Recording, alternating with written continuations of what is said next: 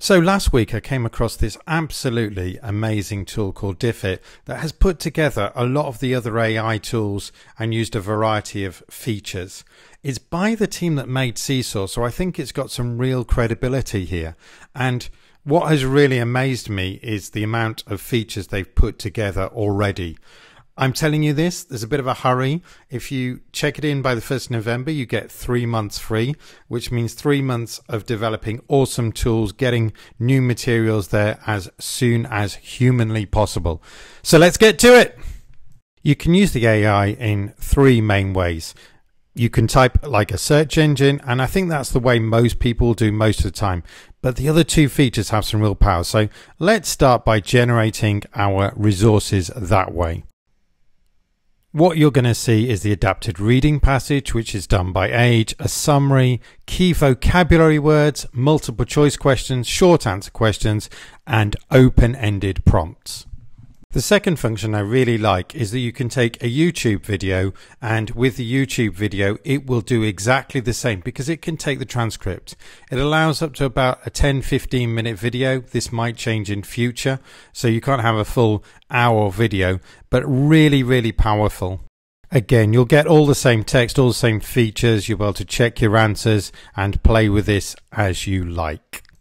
You can also copy text, and usefully you can make a PDF. If it's a scanned PDF, I don't think it's so good on the OCR, but for a PDF that has been electronically generated, it's awesome.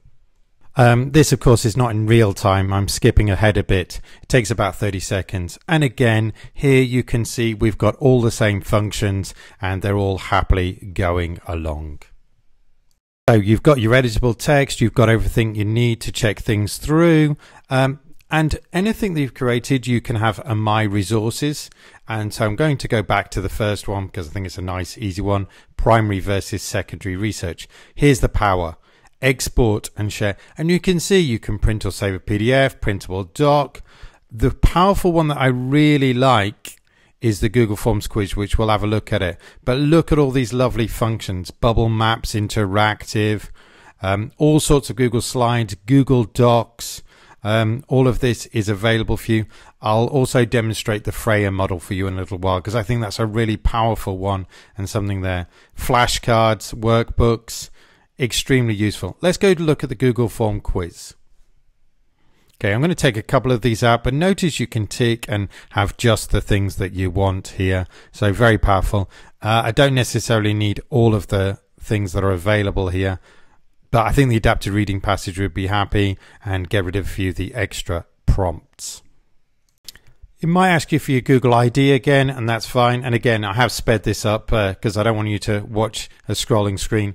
About 30 seconds again. And once you do this, you get primary versus secondary research. You could have the passage there, uh, depending what you want to do. Uh, maybe have some of the keywords if you want to have. But notice it's created a full quiz for you. It's put the auto marking in. Now this only works on the multiple choice, but the short answers are there. Um, you just have to mark those yourself but very, very powerful feature and I think worth the price of admission by itself. Let's go back and have a look at some of the other models here. And really, one of the ones I'd like to illustrate and have a look at for you is the Frayer model because I think it's a very powerful model for teaching vocabulary.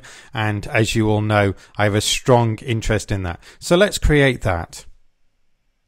This one comes with a teacher instruction page, which I think is really useful. And then what we have is each item, the Frayer model with the definition, and you can add things or you can encourage students to do that. But also you've got read and take notes. You've got quite a few functions here. The multiple choice questions are there. And again, you can pick and choose what you want to have. And this is a very powerful way of generating a student booklet at once. So while we've got three months free, let's take full advantage of this and hopefully our various districts and schools will purchase it for us because it's an amazing time saver. Thank you Diffit for producing this and I look forward to it getting even better and better as it continues. Please let me know in the comments if you enjoyed this video, you want more videos like it, you want to see more AI resources rather than straight programming videos and make sure you hit the sub channel. Uh, all those subs make a difference and make me feel good. Thank you.